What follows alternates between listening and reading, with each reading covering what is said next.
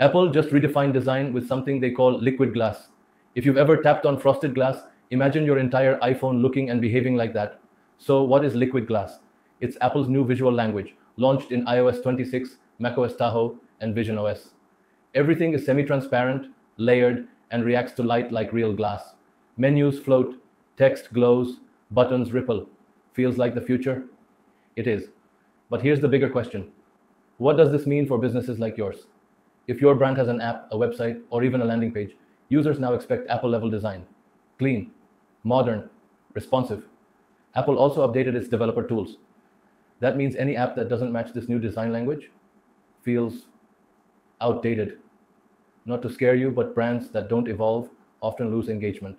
Example An EdTech app that updated its UI with Apple like transparency saw a 22% bump in session time. People just like being there. At Borangi, we help you match this new wave. We redesign your brand's mm-hmm. digital experience so your app or site looks like it belongs in 2025, not 2015. Whether you run a small brand or a tech startup, Liquid Glass is your chance to stand out.